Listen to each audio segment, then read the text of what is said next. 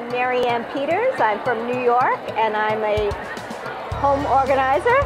And I'm here in New Orleans at the NAPO conference and I just found an amazing organizing tool.